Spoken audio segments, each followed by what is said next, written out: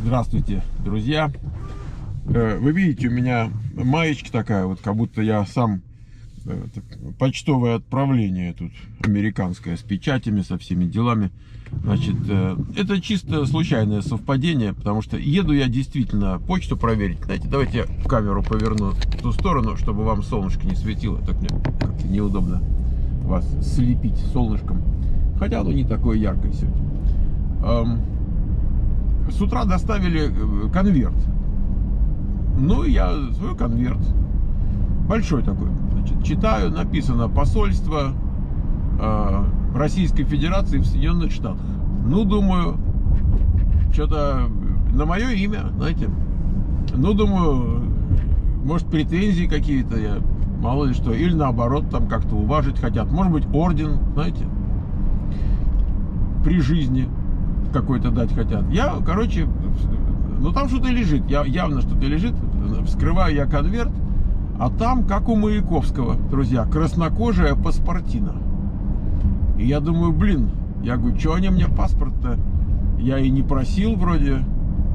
И думаю, ну, может, знаете, как уважают. Думаю, что Петрович там, мол, когда-то его лишили, а сейчас вот надо бы ему восстановить. Там, ну, я не знаю, ну, как-то, думаю, какие-то добрые намерения. Значит, потом смотрю дальше, а паспорт не мой. Там фотография вклеена и фамилия, и, в общем, совершенно это не я. Думаю, какого же хрена чужой паспорт мне пришлют еще из российского посольства, это даже не посольство, а консулат в, Вашингтон, в штате Вашингтон. Ну, думаю, ну, поскольку фамилия есть, я тут же ее пошел там в скайпе у себя нашел, и смотрю, действительно, переписка была у нас с товарищем, что э, у него там адрес должен поменяться, а получение паспорта занимает месяца три, поэтому он как-то говорит, нельзя ли к вам, чтобы пришла почта, домой прямо. Ну, я говорю, да ради бога, все. Ну, я забыл, ну, сами подумайте, сколько времени прошло. И та, вот такие дежавю у меня, друзья, вот этот паспорт, краснокожая паспортина, я помню, у меня такой же, в принципе, был советский. Собственно, у меня есть даже загранпаспорт, то, что нам когда-то выдали, я храню. Там написано постоянное место жительства, там и все такое. У меня паспорт СССР есть. Вот он такого же цвета примерно был.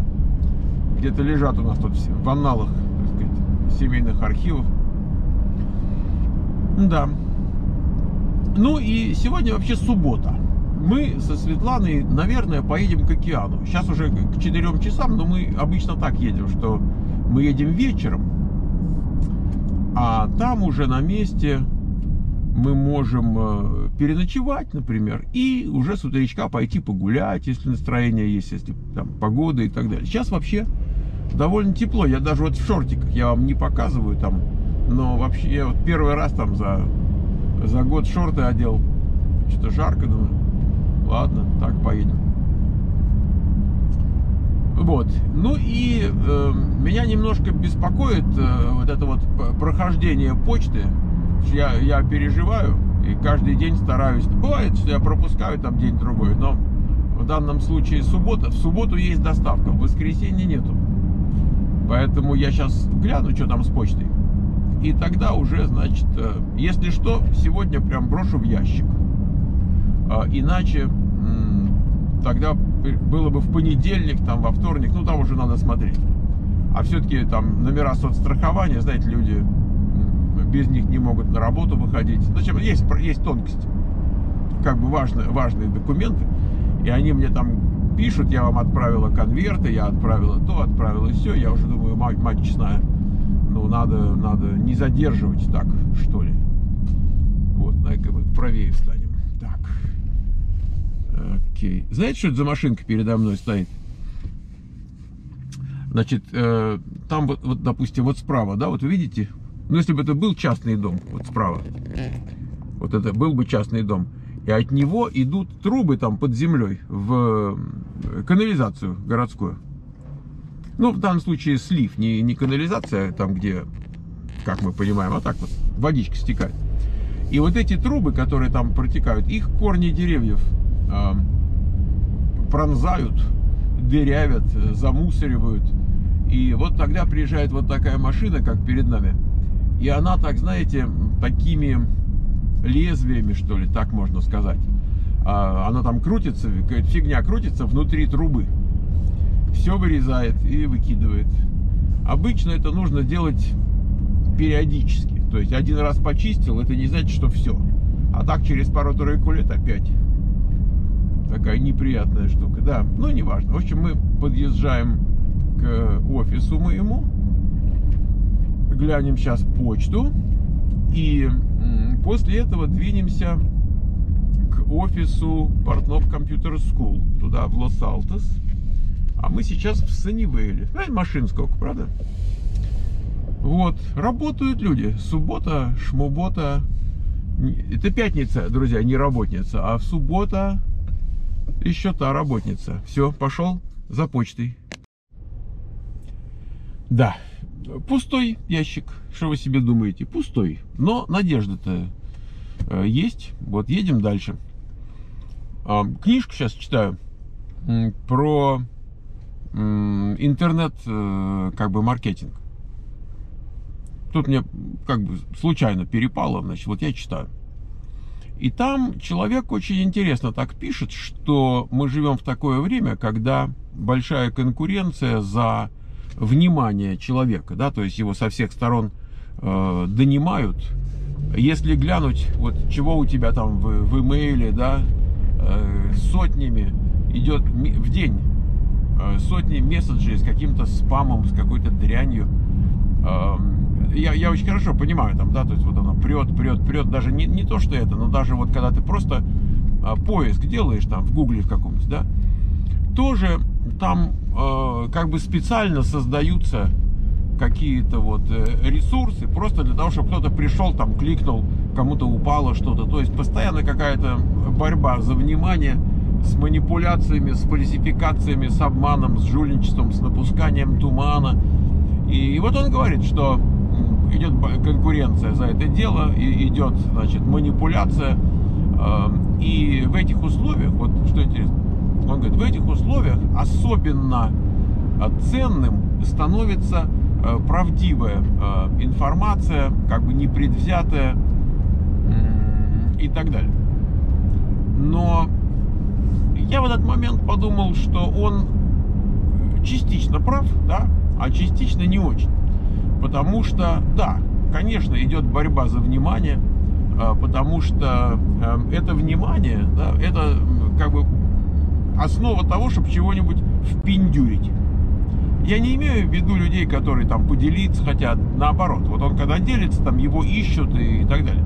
А когда идет как бы активная сторона, активной стороной является тот, кто впендюривает. То есть он э, хочет как-то заработать. И, и, соответственно, надо впендюрить. И вот и э, очень, так сказать, такая серьезная технология впендюривания. Где-то за деньги, где-то поменьше денег. Там нет, нет, нету денег там э, оплатить рекламу. Ходят там по фейсбукам, там по группам, где-то пишут, что-то такое, их там удаляют. Они аккаунты новые создают. Или там на ютубах, на, вообще в любой соцсети, да, там много-много ходит вот этих вот там вот, вот, да. Накрученные подписчики, накрученные просмотры, все, а, все такое накрученное, там а, накрученные страйки, а, там, скажем, конкурирующим там каким-то каналам, там и так далее, и так далее. То есть как бы целый мир фейка. Мы это видим. Вот, но, то есть я в этом, в этом плане я абсолютно согласен. В чем товарищ прав частично – это то, что особую ценность приобретает правдивая информация. Причем впендюривается, кстати, не только товар, впендюривается э, политическая информация, которая тоже как бы денежная. Э, то есть, э, скажем так, человек, которому впендюрили, да, он информацию, он начинает деньги давать. Не каждый, да, не каждый. Но вот тем не менее, это тоже очень большие обороты на компании э, вот этой вот типа там сбора денег, что выборы украли, да, на этой компании собрали э, больше 200 миллионов долларов, которые никоим образом не, не нужны были для того, чтобы, там, скажем, ходить по судам там, или это все делать. Там смешные, там, там ничего не, не было, там никаких расходов практически не было. Там не было судов, судов, где нужно там годами там адвокатам платить там по 700 долларов в час. Нет, это так, на 3 копейки. То есть подсобрали 200 миллионов долларов. Почему? Человек, которому впендюрили, несет бабки. И вот, э, э, значит, соответственно, ну, товар, мы говорим, идет, идет из бизнеса, потом перебирается в политику, безусловно. И вот э, частично, частичная правота. Значит, частично он прав, потому, а не полностью. Потому что потребность в правде э, далеко не универсальна. Потребность в честной, выверенной, добросовестной информации не является универсальной. Не то чтобы там, скажем, львиная доля общества стремится к получению честной, правдивой информации. Э, значит, э, используя известную формулировку, значит, мы можем сказать, что вот э, в отношении этого всего people have it. People have it абсолютно любую дрянь. Э, то есть ты можешь ему там за десятку впендюрить то, что трех копеек не стоит, а они, и они хавают. То есть те, кто хавает, намного, намного, намного, намного больше, чем тех, которые анализируют, сравнивают, там определяют вот эту вот ценность там того или, или сего который вообще в состоянии что-то определить. Понимаете? Поэтому апеллируют к эмоциям, обратите внимание.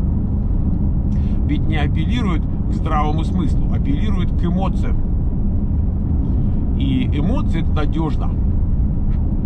А это так, так просто не смоешь. Вот если ты какую-то информацию, а кто-то другой другую информацию, а информация, она где-то неполная, да, потому что если дашь полную, у человека возникнут сомнения, а ты ему не полную, ты ему такую, как вот чтобы он да? Поэтому информация. Дело такое, это ты апеллируешь сразу к людям, которые логически осмысляют. Да не, ну, ну, что. Масса, масса. А зарабатывается э, бабло на, на массе. Впендюривается массе. Да? Впендюривание одному человеку это слишком дорогая операция. Вот когда впендюривается целой массе, вот тогда да, тогда отдача большая. И вот, э, так что с одной стороны, ну да, ценно, конечно, ценно, когда что-то там хорошо. Он-то к чему клонит? Он клонит к тому, что если ты людям даешь какую-то информацию, как, как э, интернет-бизнес, да, вот, даешь какую-то э, ну, достаточно объективную, э, отражающую реальность информацию и так далее, люди готовы за это платить, да, потому что разобраться во всем этом мире, вот этого всего практически невозможно. Но дело в том, что Понимаете, сейчас, поскольку э, вы, конечно, можете что-то предлагать, скажем, хорошую, выверенную, объективную информацию, но вокруг вас будет столько народа, которые впендюривают, и люди, которые, которым предлагается это все, это не массово, что они э, выбирают э, какую-то честную, объективную информацию, потому что им, им чего-то хочется, они во что-то верят. Когда человеку верится во что-то, он склонен принимать это за реальность. Знаете, посмотрите вот сейчас, например, про э, ну, господи, любой вопрос. Вот вакцинирование, например, да. Посмотрите, какие там потрясающие теории, э, сколько мы всего услышали про эту вакцину. И даже не вакцину, а сам этот COVID-19. То есть разброс невероятный, да. То есть э, одни сравнивали его там с испанкой, там сто лет назад, которая там чудеса творила, тут столько народ погибло. А, другие говорят, что вообще это как грипп, и там вообще говорить не о чем. Третьи говорят, это китайцы, там четвертые говорят, это вообще русские через китайцев, а, там и так далее, и так далее, и так далее. И как вот э, известная фраза говорит, что ложь для того, чтобы в нее поверили, должна быть чудовищной. Да? Вот так это. Сейчас мастеров чудовищной лжи очень много. А, Тут, э, я, кстати, в стриме тоже эту фразу там использовал, там возник вопрос, э, это Геббельс или это Бисмарк. Эм, я пошел посмотрел, значит, вот эта фраза принадлежит на самом деле Гитлеру э, в Майн кампф, он, он ее пишет, об этом пишет. Он, кстати, это пишет, показывая пальцем на коммунистов, на марксистов так у него там все вместе, там евреи, марксисты, коммунисты, вот он на них показывает, говорит, это они, мастера такой лжи, да, такой лжи, что люди им верят. Только потому, что их, их ложь чудовищна, он, он в этом смысле говорил. Ну, неважно. Так вот, э, у нас мастеров чудовищной лжи сколько хочешь, э, потому что масса, э, people хавает, да, и, в общем, и, и мы сейчас живем в мире хавающего пипла.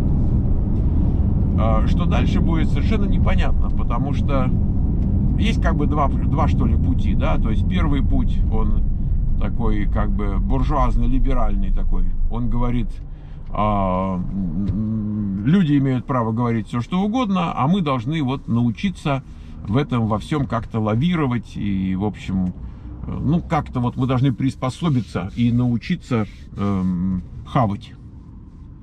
Вот. Что вообще говоря, задача практически нерешаемая, потому что там 90% населения планеты, может быть и 95, да, никаких предпосылок для того, чтобы не хавать, у них нет. Никакого исторического, ничего нет. То есть мысль о том, что они могут жить как-то без того, чтобы хавать, а, то, что так аккуратненько упаковано и так далее, нет.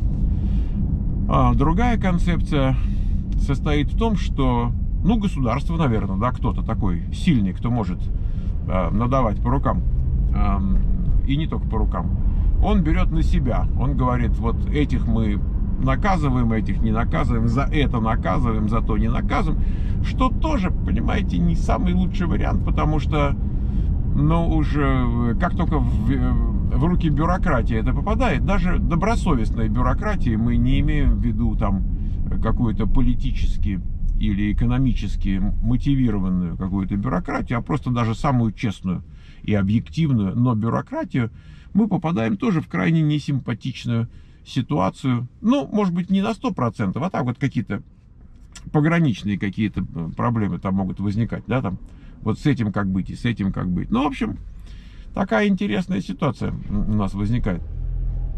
Как-то мы должны научиться с этим жить, я не знаю как. Пока не научились. Пока у нас как бы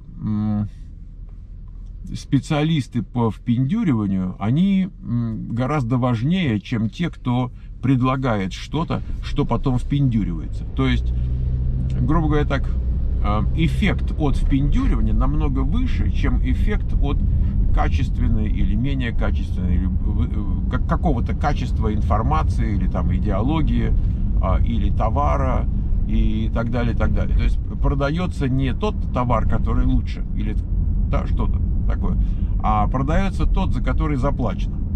А заплачено, потому что ну, как бы, как бы есть коммерческая основа, да, то есть тут, тут проплатили, там получили, так, чтобы прибыль была больше, чем расход на рекламу, понятное дело. Поэтому мы имеем то, что имеем, и вот мы живем не только с точки зрения купить что-то, но и с точки зрения уже общественной жизни и политической жизни и так далее. То есть мы живем в мире, где практически все впендюривается. Потому что если ты не впендюриваешь, тебя тут же обойдут. И те, которые впендюривают. Почему они тебя обойдут? Потому что масса, как мы говорили, 90-95, там, не сколько там процентов, эта масса не в состоянии отличить качественный товар от некачественного, который впендюривают. Ну, в данном случае я говорю больше о, может быть, такой общественной жизни, да, но и, ну и не только общественной. А, там, мода, да, там, автомобили, статусность, вот все это. Это же на эмоции. Э, любой товар впендюривается на эмоции. Абсолютно любой. То есть э, я когда-то изучал, я не помню, что это было. По-моему, когда я страхованием занимался, я тогда читал много книжек по маркетингу, и там говорили, что было что-то такое, что примерно 15% людей, 15% это люди, которые аналитически совершают покупки. Речь шла о продажах. Что процентов 15 аналитически покупают, а 85 эмоционально покупают. И вот, значит, соответственно, надо как бы читать, так сказать, с кем ты разговариваешь, прочитывать человека и подавать ему эту информацию в том плане, в каком он ее употребляет. Есть такая книжка, я читал, я, я даже название книжки помню, она называлась The Platinum Rule. Платиновое правило. Вот, о том, как, ну, там они там, как классифицировать людей, там, на эм, эмоциональных, интеллектуальных, там, там получается четыре группы, потом каждый из четырех делится еще на четыре, там, еще целая такая вещь, связанная с продажами. Я тогда почитал, мне интересно было. Но вот понимаете, 85-то покупают на эмоциях. Поэтому те, кто управляет эмоциями, умеют управлять эмоциями, они умеют впендюривать. Вот. А если ты лох, то плати. Правильно? Кто, кто за лох платить будет? Он сам. В общем, такие у меня мысли, друзья, интересные в походе за номерами соцстрахования. И вот сейчас, наверное, уже грин-карты подойдут. У меня где-то э, из э, вот, ну, последних событий, когда сказали там поехали, да, когда Байден сказал поехали и махнул рукой, отменив там всякие трамповские прокламации. Вот э, где-то три десятка номеров соцстрахования пришло, соответственно, уже должны начать подходить грин-карты к этим людям по времени так. Где-то месячишка примерно разница, так что я с интересом жду. Примерно э, между 3 и 15 марта основная масса прошла. Так что сейчас глянем в ящик, я вам потом расскажу. Та же история, друзья. Ничего нет. Ну, то есть, какая-то почта есть. Например, э, из э, Министерства обороны, там управление по э, контрразведке. Я не шучу, я серьезно. Прислали письмецо. Я не стал вскрывать, поскольку это не мое дело, но там ребята отвечают. Но обычно такое присылают, это не первый раз. Не то, что я там, меня таким письмом можно удивить. Обычно это связано с тем, что когда кого-то берут на работу с допуском, там какие-то такие дела, вот, то там его уже так проверяют подчистую. Если он где-то написал, что учился в Портнов компьютер School, то мы получаем такое письмо, там и так строго написано Министерство обороны, Управление контрразведки, а, и там так еще написано Official Business, официально все, культурно. Вот, ну и там такой листочек лежит, там все заполнено, и надо только подтвердить, правда или неправда. Они могли бы вообще упростить это такими делами, что типа вот, если правда, тогда можете не отправлять, а если неправда, тогда подправьте и отпишите. Но, ну, некоторые так делают, кстати, но не Министерство обороны. Э, так делает э, управление по безработице. То есть они, когда человека сокращают, они, и он идет получать пособие по безработице, они присылают письмецо, и там говорят, что вот, мол, такая-то такая информация поступила от человека, который значит, обратился. Поэтому, если все правда, можете не беспокоиться, а если что-то не так, вы, пожалуйста, поправьте. Вот эти так работают. Но Министерство обороны, друзья, оно так строже. Они говорят, ответьте. Там надо просто расписаться, галочку поставить и бросить в ящик. Да, но виз, визовых дел не было. Там ни грин-карт, ни, ни номеров соцстрахования. Ну, что это значит, друзья? Пишут, пишут, да, пишут. Придет потихонечку. Вот. А я так на стреме, за общественный интерес переживаю. Что еще сказать? У нас э, не, не, некоторая суматоха такая происходит э, в семье, потому что, во-первых, я зарегистрировался таки на вакцинацию. Это будет, наверное, файзерская э, вакцина. Там как-то не было сказано, там было сказано, что двухэтапная, а какая не, не было выбора. То есть я не знаю какая, не, не, не было уточнения.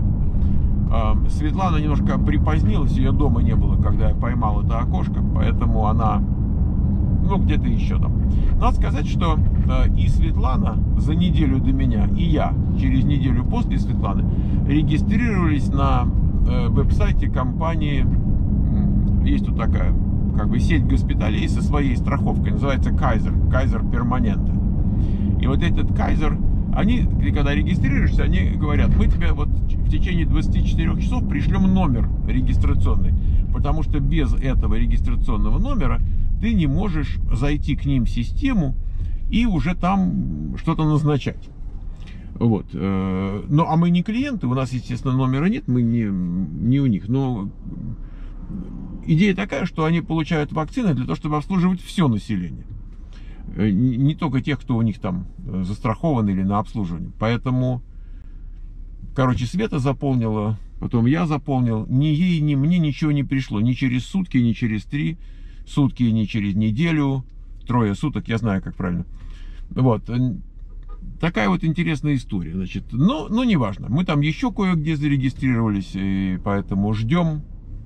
Я так понимаю, что все эти, как бы сказать, веб-сайты, на которых э, выходит список того, где можно сделать, но там же написано вот назначь appointment, там все написано нет appointment. Так оно прям сразу в основном говорит нет appointment. Поэтому ну, это, это известная проблема. Сейчас начали об этом уже писать. Вот я сегодня читал статью, не помню где, а, что в городах, в мегаполисах, в местах, где большая плотность населения, вот есть проблема с тем, чтобы, значит, там записаться. Кстати, вот тут у нас э, рядом, ну, не знаю, там 10-15 минут езды отсюда находится город Ист-Пала-Алта. Ребята, какой красавец я вам покажу. Смотрите, какая собачка. Вот. Находится город Ист-Пала-Алта. Вот. И там у нас домик, который мы сдаем. Так вот, э, застряло. Да, значит, эм, и там э, можно просто прийти э, в городское там управление, и всем, кто живет в городе или владеет там недвижимостью, прямо тут же на месте, без всякой очереди, без всякой записи, значит, делают э, вот это дело. Но, но только Джонсон и Джонсон. Поэтому я бы раньше побежал бы радостно, уже бы с прививкой ходил. Но Светлана моя пошла изучать вопрос. То есть поначалу рассуждение было такое, что Джонсон и Джонсон имеет ниже процент людей, которые не, не заражаются. Причем заметно ниже. Но правительство и как бы все эти органы, которые рекомендуют, они говорят, что любая из вакцин хороша, и Джонсон Джонсон тоже, потому что, э, значит, э, практически по нулям госпитализации, по нулям смертные случаи. То есть, не, то есть больше людей заразится после этой вакцины, но прохождение заболевания таково, что они не госпитализируются и не помирают. Но дело в том, что все-таки есть некоторые последствия, если ты заразился, да, то есть, поэтому все-таки задача не заразиться тоже, не, не то чтобы не помереть, но не заразиться, потому что если ты заразился и даже относительно легко прошло, то потом могут быть какие-то последствия. И мы из этих соображений решили, что мы будем делать э, а тут, значит, э, поскольку нам рассказали, что вот свободные можно зайти рядом, и мы, собственно, имеем возможность, Светлана пошла изучать сравнение, значит, там разных э, вакцин, там чего говорят специалисты и так далее, и так далее. И, в общем-то, они говорят так, что вакцина Джонсон и Джонсон, она вот типа российского спутника, э, она делается один раз, потому что там как бы, вот то, что в других вакцинах делается за два, оно как бы здесь за один. Я, я с чужих слов, поэтому без претензий. И от этого как бы больше нагрузка, там, скажем, на иммунную систему и так далее, так далее. И, в общем, как бы, ну вот не так хорошо, как, как Pfizer и Moderna. В общем, решили мы пока не ходить. Ну, не, нет пожара, не то, что мы там год ходили, а теперь лишний день там или два мы как-то перенапряжемся. Да, значит, то, то что на, вакци, на вакцинировании на этом фронте. Эм, следующий момент у нас песик вот я вчера повесил отчет за неделю, нам по пятницам присылают. Значит, э, тренер снимает по средам и отдает в контору, там, где разводят собачек, заводчикам отдает, а там уже у них есть человек, который все это делает. Вот они сделали это видео, они его вывешивают не на YouTube, друзья, они его вывешивают на Vimeo. А Vimeo это такое место, где поставил галочку, и никто не может даунлоднуть видео. Понимаете, они специально так делают, чтобы никто его не даунлоднул. То есть я, для того, чтобы это видео вам показать, что должен делать, значит, я должен туда зайти со своим паспортом, я должен записать, запустить это видео и записать его с экрана. Вот то что, ты, то, что вы видите, это я с экрана записал. И уже вам, ну, с потерей качества, но, во всяком случае, более-менее что-то видно. Э, в пятницу вечером собачка приедет к нам. в ночь, фактически в ночь. Мы в, полночь должны пойти, поехать в аэропорт к полночи э, в пятницу вечером. То есть с утра у нас стрим, а с вечера мы уже возьмем собачку. А в субботу у нас тренировка с Юрой, кстати. Вот, мы песика поставим там в будке, или там у нас есть загончик такой для него. Вот, пусть он смотрит, как мы зарядку делаем. Э, а дальше мы уже с ним снимемся и вам покажемся, и, может быть, постримим. Он вам помашет лапкой, там все как положено. Вот. Что еще? Машина. Значит, эту надо сдать. Но это просто. Это просто отвез и оставил. А новую надо получить. Тут нужно заниматься. Там еще у нас, знаете, некоторые дела, связанные с тем, что вот я с 1 апреля, значит, получаю медикер, то есть надо было отказаться от той страховки, значит, надо было оформить эту, и там столько бумажек, вообще бюрократия такая, ну, естественно, государственная страховка, там и бюрократия. Но, в общем, там, как вам сказать, нагружают нашего брата, нагружают. Э, целыми днями какая-то корреспонденция. Каждый день что-то пишут. Такое письмо, такое извещение, такое сообщение. Я думаю, боже, сколько же они денег тратят просто на то, чтобы это все распечатать, отправить, переправить. Сколько же там денег остается на само лечение, если столько вот на административный расход какой-то непонятный. Ну, даже не знаю. Ну, посмотрим. Я еще ни разу не ходил к врачу с этой страховкой. Первое, что мне предстоит, пойти вакцинироваться с этой страховкой. Это будет 8 числа. Так что я возьму с собой, у меня в бумажнике карточка лежит, копия карточки, чтобы не потерять. Вот, и я туда пойду. И они говорят так, что если у тебя нет страховки, никаких проблем. Но если есть, то мы тогда со страховки э, попросим, значит, чтобы нам компенсировали. Ну, ну, в принципе, а почему нет? Я все-таки деньги уплачены, пусть страховка там компенсирует, иначе все из бюджета пойдет. А, обычно мы когда прививки делаем, как правило, это происходит прямо в офисе у врача. А, там делал от гриппа, нет, он тоже бах тебе эту прививку. А, иногда бывает, что нет, ну как-то ты не ходишь к врачу, где-то в аптеку зашел, там они за десятку тебе сделали. Где за десятку, где действительно со страховки пришел, страховку дал. Бывает, что и страховку возьмут, и еще десятку тоже возьмут, там по-всякому. Вот, так что... Ой, Медикер. Ну и вот, э, Теслу получить, проверить, чтобы там все аккуратненько, чистенько там и так далее. И, и собачка вот сейчас, да, э, тоже надо как-то адаптировать. Э, у нас идут какие-то переделки в доме. Тут нам сделаю, дел, мы делаем для нее площадку. Я, может быть, отдельно потом сюжет сделаю, чтобы уже все сразу не мешать. У меня сейчас такое попури, просто в связи с тем, что я движусь по дороге. И хотелось с вами поболтать, что-то я соскучился. Вот, так что такие планы впереди. Да, э, что я еще хотел сказать. Э, я буду открывать новый канал. Эм, канал этот будет, как бы сказать, не, не таким вот личным блогом, как сейчас у нас, да, то есть я тут и песенку спою, и там э, что-нибудь такое там политическое, там и такое, и секое, значит, будет канал с относительно небольшим выпуском сюжетов, ну вот, может быть, для начала, может быть, я буду делать там два раза в неделю, а потом, может быть, раз в неделю, а потом, может быть, и раз в две недели, но там все сюжеты будут более, как сказать, спланированными, что ли. То есть я буду заранее готовиться, я буду э, сортировать там этот базар э, и так далее. Э, я буду делать их гораздо более информативными, такими четкими, четкими с информацией, э, более полезными.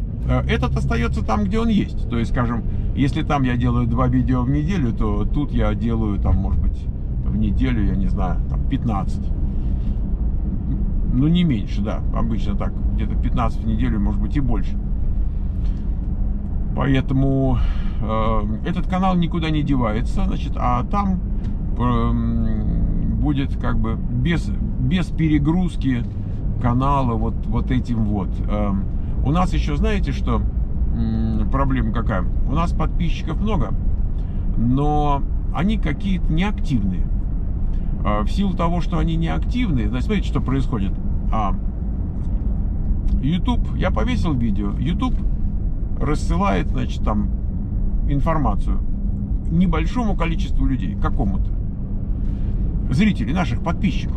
Значит, в зависимости от того, как эти подписчики придут, посмотрят, поставят лайк, оставят комментарий, или не придут, не посмотрят, не оставят лайк, не, не поставят комментарий, э, YouTube решает, какому количеству еще наших же подписчиков э, дать эту информацию. Понимаете, не так, что вот я там, скажем, видео повесил, и 240 тысяч человек получили информацию. Нет, часть получает, и борьба за внимание, да, часть получает, и в зависимости от того, как они реагируют, значит, оно может пойти и может не пойти к нашим же подписчикам. Не то, что это какие-то посторонние люди, а просто наши же подписчики. Я уже не говорю о том, что, конечно, э, и посторонним людям тоже, да, то есть какое-то продвижение. Так вот, э, наша аудитория, она как бы очень инертная получается. Эм, то есть, как бы технически нас много, а в практическом плане активно смотрит очень мало народу. Вот эм, если мы сравнимся, допустим, с каналом, ну вот Наташи Квик, э, в смысле Фальконе, э, у нее подписчиков там вдвое меньше, а просмотров там вдвое больше. Понимаете, то есть э, в четыре раза активней зритель, да, который ходит и смотрит и так далее. Э, поэтому вы скажете, а вот же есть канал там, э, вот тот, э, Портнов блог. Это правда. Я его специально когда-то сделал, чтобы этот канал не засорять таким, ну просто трендежом. Трендежом. Но как-то так получилось, что он потихонечку превратился в резервный канал. Там меньше народу, там публика более такая посвященная, да, то есть там нет 240 тысяч непонятно кого, там есть там может быть 15-16 тысяч, из которых 10 это те, кто смотрит практически все на этом канале, то есть там, там э, как бы другая немножко картинка, но, но тоже он уже там 3-4 года, он не новый, и его раскручивать сложнее, чем совсем новый канал. Вот как ни странно. Поэтому я хочу потратить какие-то усилия планомерно подойти к этому вопросу, чего я никогда раньше не делал. Вот. И попытаться создать такой канал, где будет э, трафик побольше, где будут э, люди приходить с более широким кругом интересов там и так далее, и так далее. Ну, посмотрим. Во всяком случае, мне хочется попробовать. Эм, я вам скажу, как, как только этот канал появится, и там пару видео я сделаю, я вам обязательно скажу, я на вас рассчитываю, вот, на, на тех из вас, кто действительно активно смотрит, потому что как бы от вас зависит, как пойдет дальше, понимаете, не, не, Сегодня это зависит еще от тех, кто, кто, кто не активно смотрит. Их много-много-много, они не активно смотрят, поэтому оно дальше не идет. Такая история.